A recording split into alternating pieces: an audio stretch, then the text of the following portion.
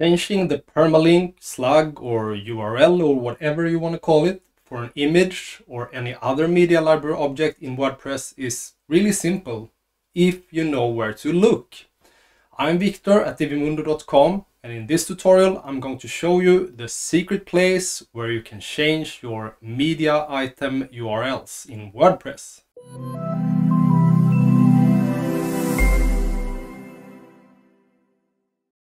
I'm in the WordPress media library and I'm going to upload a new image file by clicking add new media file.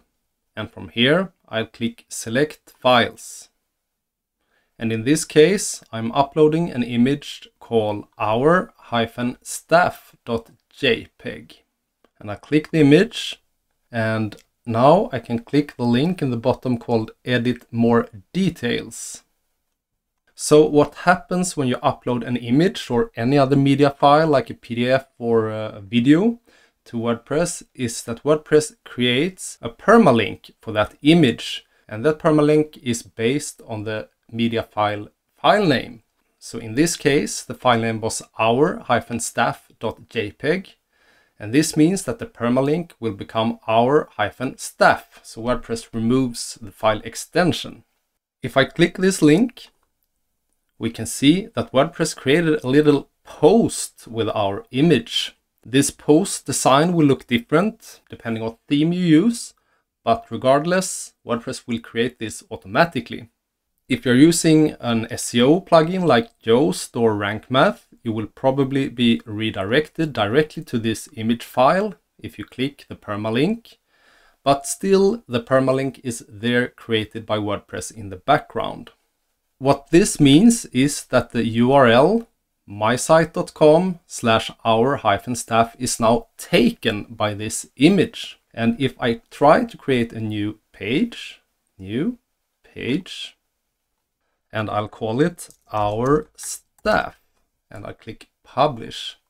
Now WordPress will do the same as they did for the media file. It will automatically create a URL based on the page title. But as you can see in this case, it says our staff hyphen 2. And this is because the permalink or the slug our staff is already taken by the image file.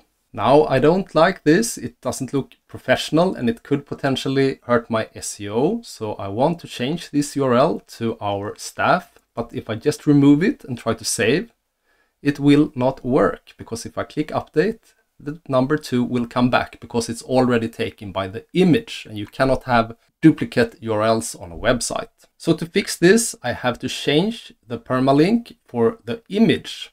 So let's go back to the WordPress dashboard and I'll go to media. And once again, I will click the image and I will click the edit more details link in the bottom.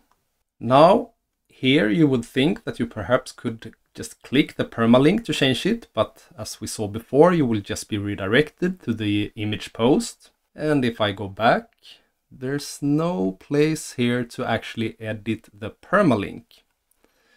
Now, this is a little bit of a hidden feature in WordPress, and I will show you where to find this secret place.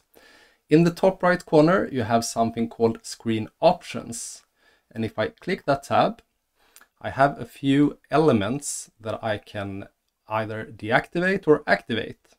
And in this case, we have one called slug. And slug is another word for permalink or URL. So if I tick that checkbox, and now I can minimize the screen options again, I can scroll down on the page and now we have the slug here and I can edit it. So instead of calling it our staff, I could call it our amazing staff. And I click update in the top right corner. Now you can see that it has a new permalink, our amazing staff. Now this will not change the image, the URL to the image file. That's still the same. That's something different, but it will change the permalink to the image file post.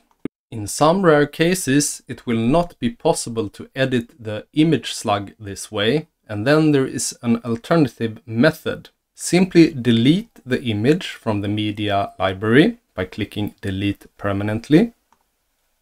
And I'll click OK. Now re-upload the image file but change the file name before you do it. So in this case, I could maybe just remove the hyphen like this, having it our staff.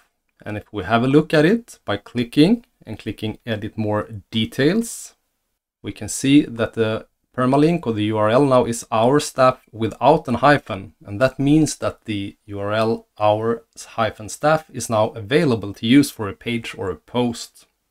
A quick heads up here, if you delete an image, uh, and this image was added on a post or page earlier, the image link will be broken.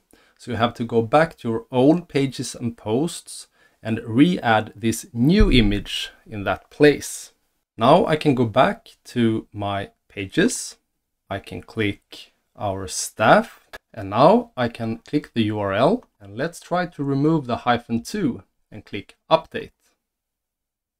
And now you can see that my URL is our staff, so I reclaim that for my page. Changing the page URL can look a bit different depending on what theme or page builder you're using. But one way that's identical for all WordPress setups is that you can go to pages and you can hover the page, in this case our staff, and then you will have a menu link called quick edit. And if I click that, we have the slug and I can edit it from here and I can click update. That's all for today. I hope you enjoyed this video. If you did, please leave a comment, like and subscribe. That would make me very happy. Until next time, take care.